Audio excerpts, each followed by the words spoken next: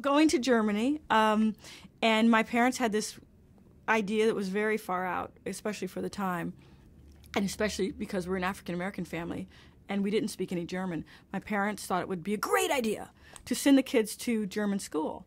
So we were sent to German school where we, you know, they wanted us to be with the Germans. And we lived on the economy, it was called, you know, with the Germans, you know, so we lived in a very, among the places we lived in Germany, a very small town, Höchst, that was uh, a thousand years old. It was celebrating its thousandth, you know, it's, uh, I forget what it was called in German, but celebrating its thousandth, thousandth anniversary.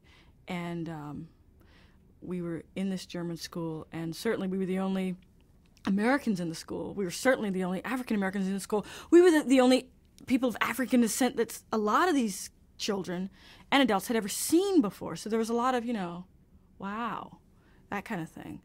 Um, a lot of that. And then, you know, we didn't speak German. So there was a lot of, wow, oh, oh you know, we, you know, and the kids um, were, because we were small, the kids were, the German kids were just learning English. So there was a lot of confusion.